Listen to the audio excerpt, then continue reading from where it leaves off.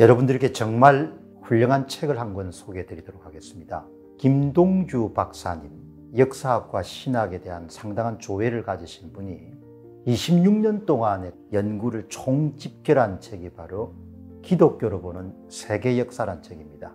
우리나라에서도 역사 뒤집기를 위해서 좌우 진영이 굉장히 격렬하게 싸우지 않습니까? 그만큼 이제 역사를 어떻게 해석하느냐, 바라보느냐가 굉장히 중요하죠. 세계사란 큰 관점 속에서 좌우에 치우치지 않고 반듯한 그런 역사적 관점을 가질 수 있지 않겠냐 그렇게 생각합니다. 기독교로 바라보는 세계사 이 책이 한국사뿐만 아니고 세계사를 반듯하게 올바르게 바라보는데 여러분들의 큰 지침이 될 것입니다. 자, 조선과 대한민국 참 끝나지 않은 질긴 인연입니다. 지금 이제 슬픈 중국을 기, 이, 계속해서 게재하던 송재윤 교수가 조선의 노비 제도를 지금 본격적으로 거론하지 않습니까 굉장히 반향이 큽니다. 슬픈 중국의 중국 문제를 거론할 때 비해 가지고 노비 문제를 거론하면서 많은 사람들이 이걸 읽고 깨우치고 있는 거죠. 이게 당시에 조선의 이런 지식인들이 노비제를 어마어마하게 옹호했습니다. 동국의 양법이라고 하는 겁니다. 대한민국 부정선거를 어마어마하게 옹호하고 있는 것이 지금 대한민국 지식인하고 똑같은 겁니다. 여기 보시게 되면은 조선의 역대 국왕은 왜 모든 백성을 공민으로 지배하지 못했는가 왜 그 절반을 사민으로 삼아서 양반 관료들과 나누어서 소유하려 했던가 오남 세종의 강평대군이 팔남 영릉대군이 예, 각각의 1만 명의 이런 노비를 갖고 있었다는 겁니다. 조선의 정치 체제는 분명 각자 봉투와 백성을 가진 제후들이 다수 공존하는 봉건 모델의 정부를 닮은 면이 있다. 중앙 권력이 이름 지방까지 다 이름들 뭐죠 예, 지휘 감독 감시를 할 수 없기 때문에 예, 지방의 토호 세력들하고 여러분들 권력을 분점한 겁니다. 예. 여러분 지금은 북한은 전 인민들을 다 직접 통괄하는 거죠. 지방에 제후가 없는 겁니다. 김씨 왕조나 여러분들 이씨 왕조나 똑같은 거고 더 가혹한 것이 김씨 왕조입니다. 제가 대한민국의 부정선거를 어떻게 보는가 하니까 대한민국 부정선거를 대한민국 국민들의 자유인 신분에서 뭡니까 준노예 신분으로 바꾸는 일종의 체제 변혁으로 보는 겁니다. 그래서 아우성을 치는 겁니다. 저는 그렇게 지금 시각을 갖고 있는 겁니다. 대한민국에서 반복적이고 조직적이고 체계적으로 일어나고 있는 부정선거를 저지른 자와 은폐하는 자들은 대한민국의 양민 대한민국의 국민들을 모두 다 뭡니까 노예 내지 준노예 제도로 이런 바꾸는 새로운 계급을 이런 창설하는 데 기여하고 있는 자들이다 이렇게 보는 겁니다. 체제 편역으로 보는 겁니다. 많은 국민들은 이 문제에 대해서 침묵하고 이런 입을 다물고 있지만 저는 선거 부정 문제가 예, 북조선하고 같이 또 다른 차원의 여러분들 왕조가 탄생하는 걸로 보는 겁니다. 예. 그래서 여러분들이 이렇게 아우성을 치는 겁니다. 왕자가 여러분들 노비를 1만 명씩 갖고 있었던 겁니다. 조선 국왕은 조선 땅에 살아가던 15세기 16세기 인구의 절반을 예 공민으로 거느리고 나머지 절반은 정부 왕실 양반가에 소유된 동산이었고 사적인 백성 곧 사민이었다. 조선국왕은 전체 국인의 절반에 대해서만 임금노를 했고 인구 절반의 노비들에 대해 사실상의 지배를 포기했다. 노비들은 왕의 백성이 아니라 타인에게 소유된 예술적 존재였다. 본인이 이름 절반 갖고 나머지 양반들이 뭡니까 절반 갖고 그렇게 해서 다 예, 노, 노비들을 자기 민족들을 다 노비로 거느린 겁니다. 그 인연이 얼마나 질긴지 그게 북조선이지 않습니까 하나도 바뀌지 않고 더 가혹한 형태로 지금 여러분들 폭압에 시달리고 있는 것이 북조선인 겁니다. 그 체제를 보고도 뭡니까 빛을 비추기는커녕 그 체제로부터 어둠의 세력으로 뭡니까 대한민국을 끌고 가고 있는 세력들이 지금 나라 일 하는 데서 곳곳이 보이지 않습니까 선거 부정을 저지른 자 선거 부정을 은폐한 자 선거 부정을 옹호하는 자들이 다 그 세력들인 겁니다. 조선 정부는 양반가의 노비 소유를 법적으로 용인했을 뿐만 아니라 그 노비제 유지와 확충을 적극적으로 도왔다. 조선 유생들이 지금의 지식인들과 마찬가지로 노비제를 어마어마하게 합리화하는 겁니다. 천생정민 하늘이 곧 온 백성을 낳았다는 전통 유학의 대전제는 조선의 노비제와 정면으로 충돌했다. 그게 합리화를 해야 될 거 아닙니까 조선의 양반 계층은 입만 열면 노비제가 예, 중국의 기자에서 이어지는 우리나라의 고유한 전통이라고 옹호했다. 다음에 이런 차이값 그래프가 뭐 이번에 65% 나왔지 않습니까 사전투표 득표율이 10월 11일 강서구청장 보궐선거에 진교훈 더불어민주당 여러분들 득표율이 사전투표 득표율이 65% 당일 투표 득표율 한 35%가 그렇게 나왔을 겁니다. 어마어마한 차이가 나는 거죠. 다음에 사전투표 득표율이 여러분들 더불당 후보가 65%가 아니고 90%가 나오더라도 그것은 우리나라의 고유한 현상이고 우리나라의 고유한 전통이다 그렇게 옹호할 겁니다. 대법관들이 뭐라고 했습니까 인천 연수월 재검표에서 원국적 소송을 기각하면서 이렇게 사전투표 득표율과 당일투표 득표율이 큰 차이가 나는 것은 특이한 현상이 아닙니다. 그 다음 실시했던 선거인 서울시장 부산시장 보궐선거 그 다음에 지방선거 대통령 선거에서도 비슷한 현상이 났습니다. 이런 짓을 했지 않습니까 조선 유생들하고 똑같은 겁니다.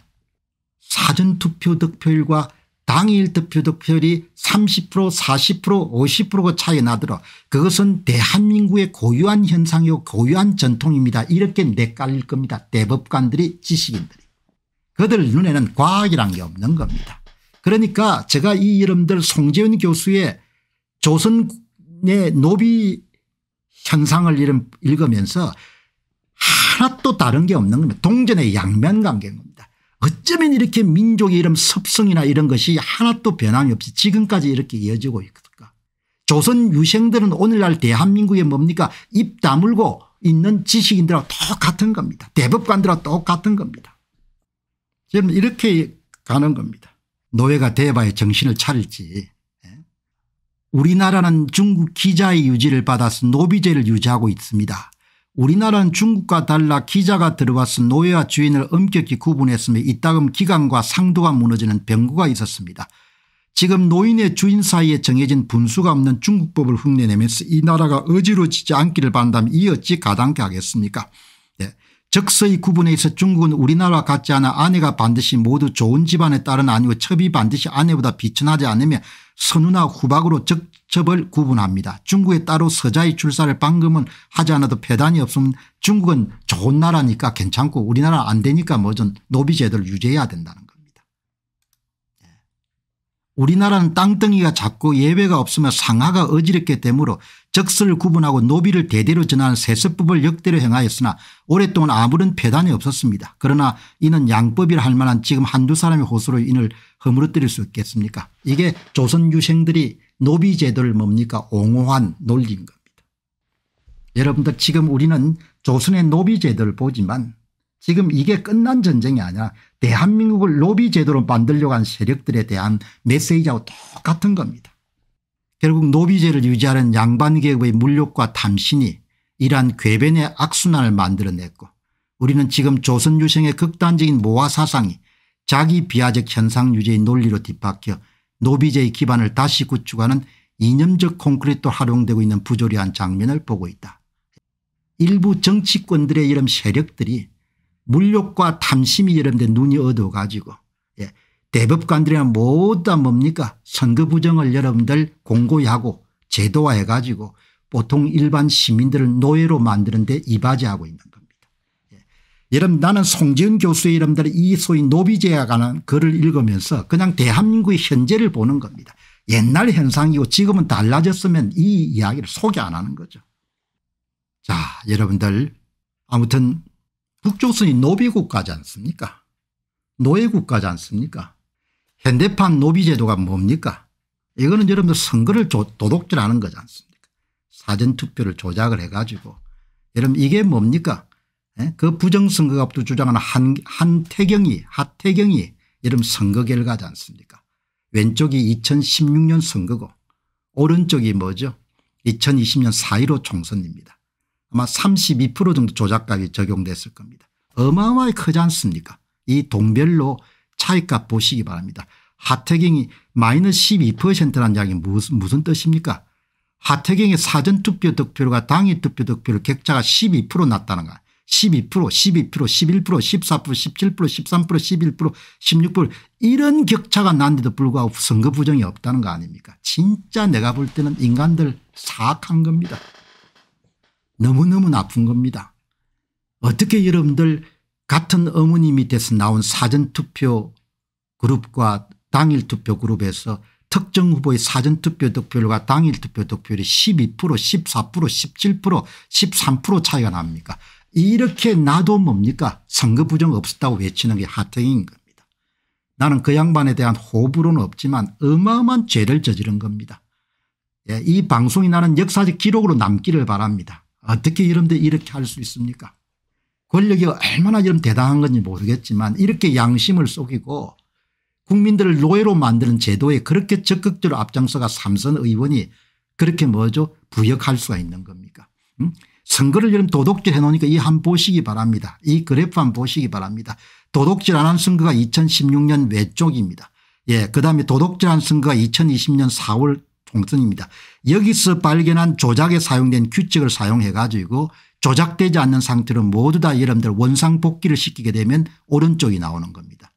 진짜 사전투표 득표율 빼기 당일 투표 득표율 차이가 그래프인 겁니다. 너무 반복해서 입이 좀 아픈 감이 있지만 어떻게 나라가 여러분 이렇게 악하게 흘러갈 수가 있는 겁니까 이런 것이 여러분들 공공연하게 여러분 현상이 돼 가지고 2016년 총선 2020년 총선 4월에 실시된 2023 총선이 어떤 그래프가 그려지겠습니까 왼쪽에 가까운 그래프가 그려지겠습니까 오른쪽에 가까운 그래프가 그려지겠습니까 여러분은 어떻습니까 나는 오른쪽보다 훨씬 심한 그래프가 그려질 거라고 봅니다. 2023 총선이. 그런데 예? 김기현이를 치고 예, 장재훈을 내보내고 한동훈을 비상대책위원장 하게 되면 우리가 이기겠다 정신 나간 겁니다. 그래서 사법고시들 다 어떻게 다 올랐는지 모르겠어요. 여러분 이렇게 돌아가는 겁니다. 이 여러분들 보시기 바랍니다. 선거가 여러분 이렇게 실시가 돼 가지고 꼭 2024년이 여러분들 일어난 다음에 이렇게 또 후회를 해야 되겠냐 이야기죠. 대한민국 공직선거의 문제점을 파헤친 첫 번째 책을 펴냈습니다. 제목은 도둑놈들 1권 선거 어떻게 훔쳤나 2017년 대통령 선거로부터 2022년 대선과 지방선거까지 전산 조작을 이용해서 후보별 득표수를 어떻게 조작했는가를 낱낱이 분석한 책입니다. 선거를 바로 세우고 나라를 바로 세우는 일에 여러분께서 힘을 더해 주시기 바랍니다.